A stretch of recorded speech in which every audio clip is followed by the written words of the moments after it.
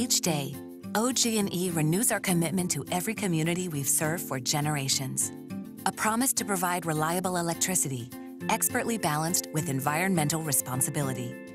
Which is why we pride ourselves as an energy leader and an acknowledged innovator in renewable energy practices and expertise.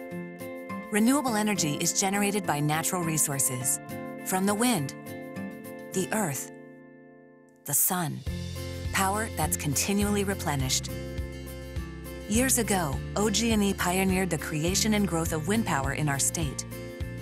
And now Oklahoma is the fourth largest producer nationwide, keeping our cities cleaner, creating jobs, and moving us closer to energy independence. We're also at the forefront of advanced geothermal research, an extremely energy efficient option, generating power directly underfoot. And now, here comes the sun.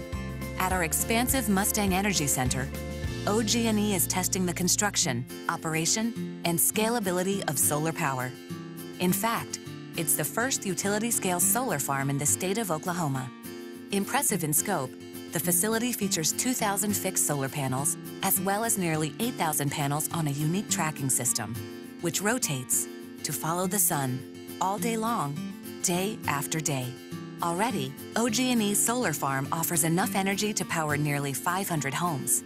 In addition, we're exploring the capabilities of rooftop solar installations on OG&E service centers, plus innovative battery storage solutions OG&E is studying every facet of the safety, maintenance, reliability, and sustainability of solar power on our energy grid.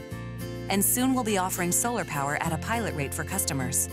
So even when overcast skies cloud the issue of just how much power can be harnessed daily, it's already clear that solar energy has a significant role in OG&E's balanced and reliable energy portfolio and plays an important part in Oklahoma's bright energy future where we create positive energy together.